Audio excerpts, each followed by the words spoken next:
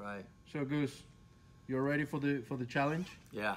Yeah, I'm you excited can for it. explain a little bit what is the challenge? All right, so we're gonna go around three different areas, and I have to find three different things: a rocket, a big roundabout with an X in the middle, and then an airplane by a house. And I have about 40 minutes to find those three things, and we'll see how we do. All right. Yeah.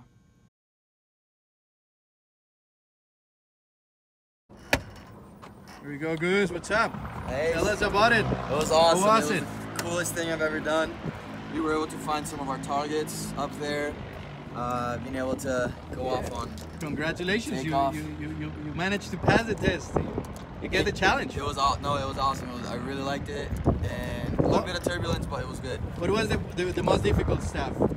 Most difficult thing I think was just being very light with the control and not overdoing it, but just having a good feel for the machine and respecting it so it respects you back.